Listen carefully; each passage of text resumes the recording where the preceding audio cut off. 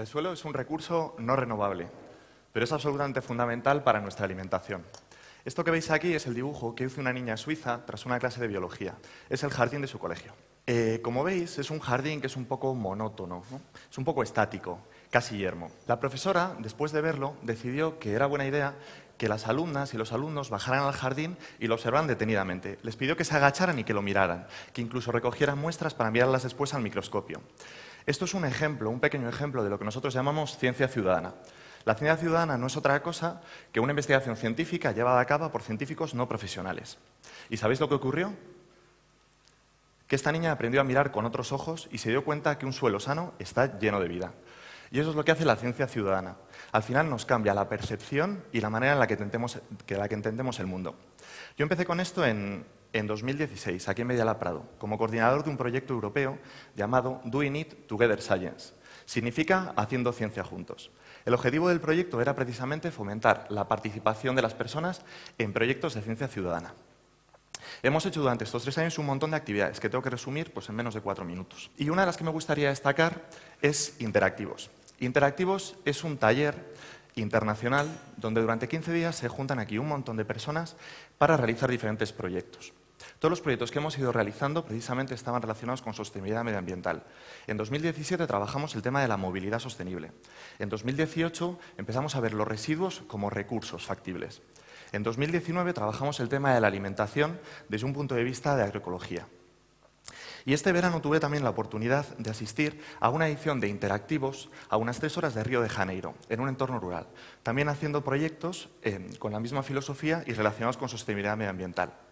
Y lo mejor de todo esto es todo lo que he aprendido durante estos tres años. He aprendido, por ejemplo, que se puede fabricar combustible con residuos alimenticios. He aprendido también que si juntas a un genio de Camerún con otro genio de Cuenca, se pueden fabricar cosas maravillosas como este catamarán realizado con residuos, con material reciclado.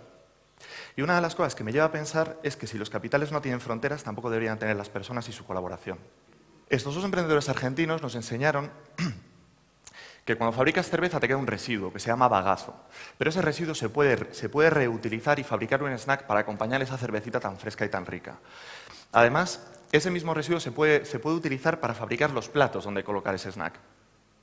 Este maravilloso equipo transatlántico nos enseñó la importancia de cuidar muy bien las variedades tradicionales de semillas. Y hay que documentarlas, porque si no se corre el riesgo de que las multinacionales lo patenten y entonces privaticen un recurso que es un bien común para toda la humanidad.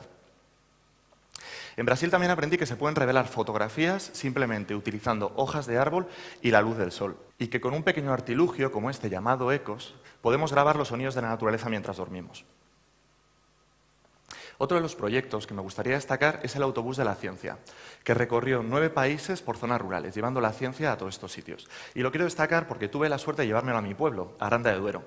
Entonces, aquí lo tenemos en la Plaza Mayor y ¡chan! tenemos un laboratorio. Y de repente, un montón de niños que aprenden a fabricar crema solar casera. Y aquí me gustaría detenerme un momento, porque yo creo que lo más importante que he aprendido es que eh, un buen proyecto de ciencia ciudadana, lo más importante son siempre las personas que participan en él ya sean precisamente los coordinadores del proyecto europeo, ya sea el equipo de Interactivos 2017 y todos sus participantes, los Interactivos 2018, los Interactivos 2019, la gente maravillosa que conocí en Brasil.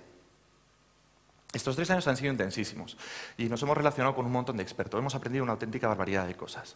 Por eso, al final del proyecto, lo que decidimos, junto con mi compañera Carmen Aro, una experta en comunicación eh, y en ciencia participativa, decidimos intentar aglutinar todo ese conocimiento y todo lo que habíamos aprendido y ponerlo en un informe para la Comisión Europea de buenas prácticas de, de sostenibilidad medioambiental participativa. Y ya me voy a despedir, pero no sin antes para invitaros a que si tenéis la oportunidad participéis en algún proyecto de ciencia ciudadana, porque quizá, quién sabe, os ocurra como a este niño que cuando escucha el sonido de una serpiente de cascabel que habíamos grabado la noche anterior, algo cambia en vuestro mundo. Muchísimas gracias. Bravo.